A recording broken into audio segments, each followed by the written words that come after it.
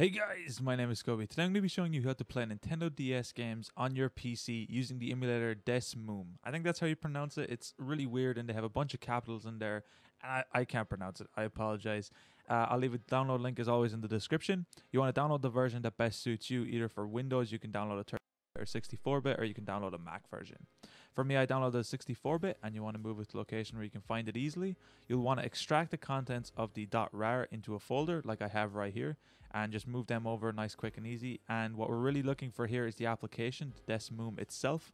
Double click to open that and your emulator is basically ready to go. The next step is to actually get ROMs or games for this. I'm not going to be showing you where to get any games in this video. A quick Google search will help you out. You'll find it very easily online and you should be left with a game in a .rar format. You want to extract that out and then you'll be left with a .nds file which I have right here. Move to the location where you can find it easily and you want to go back to your DeSmuME. You want to go to File, open ROM and you want to locate to where your game is extracted.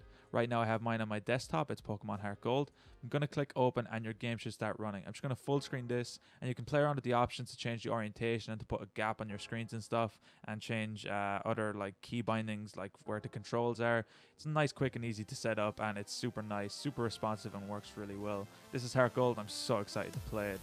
Anyway, guys, if you enjoyed this video, be sure to drop a like. Subscribe if you're new. If you have any difficulties, let me know in the comments down below. Or if there's any tutorials you'd like to see me make over here in the channel, let me know in the comments. Until next time, guys, as always, keep it soft.